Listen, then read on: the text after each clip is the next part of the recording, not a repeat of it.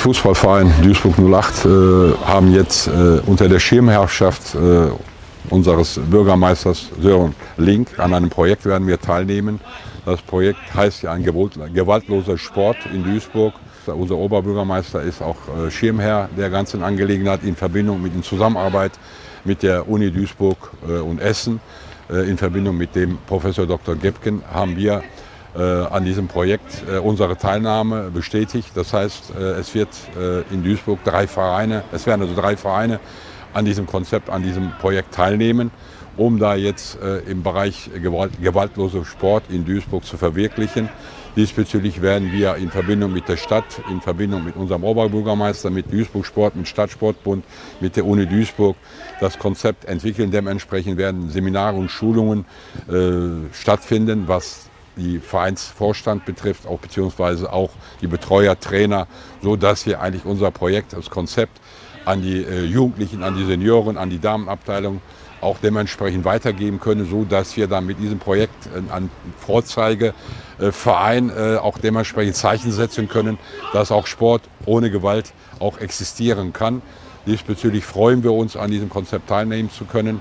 Äh, wir würden uns freuen, äh, dementsprechend auch die anderen Vereine im Moment nehmen nur drei Vereine daran teil, dass auch andere Vereine dadurch auch irgendwo ihre Vorteile ziehen können durch dieses Konzept.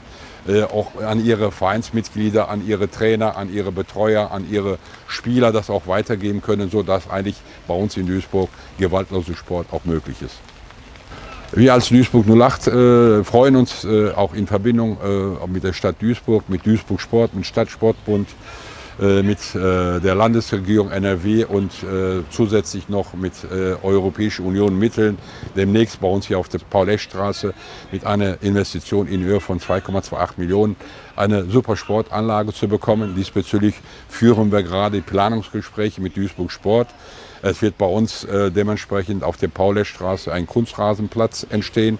Oben bei uns auf der Anlage kommt noch ein Rasenplatz, Vereinsgebäude, Begegnungsstätte, teilweise auch in Eigenleistung werden auch die äh, jetzigen Einrichtungen, die wir haben, Gebäude und so weiter, auch dass wir da in dem Bereich werden wir einige Sachen dementsprechend in Eigenleistung sanieren, sodass eigentlich demnächst in der Hoffnung, dass wir ab nächstes Jahr Juli 2022 eine der schönsten Anlagen in Duisburg haben, so dass wir auch in einem Stadtteil wie Hochfeld, gerade äh, in so einem schwierigen Stadtteil in Hochfeld, den Jugendlichen dementsprechend auch, äh, auch gerade auch im Damenfußballbereich mit muslimischen Kindern auch in Verbindung mit Sport Integrationsarbeit leisten zu können.